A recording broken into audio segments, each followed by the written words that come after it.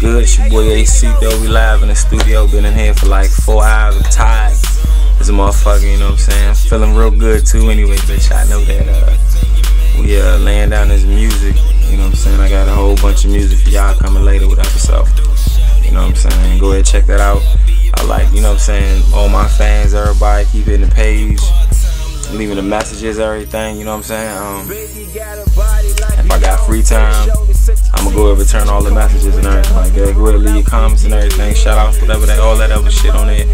Go ahead, support that. And, um, shit. Oh, thanks to all my fans coming to all my shows and everything like that. You know what I'm saying? Y'all, y'all make a nigga feel real good when I'm out of town getting that love, so I need that. So, uh, keep doing what you're doing. I'm gonna keep out banging out this music. Y'all know what it is. You know, Acito music. Holla the boy like I stole And the rest of this, whatever tape gonna explain the rest, everything that be going on with me and the music and my life and all that other bullshit. So go ahead, support me, and I keep on doing this music. I'm tired of talking to y'all niggas.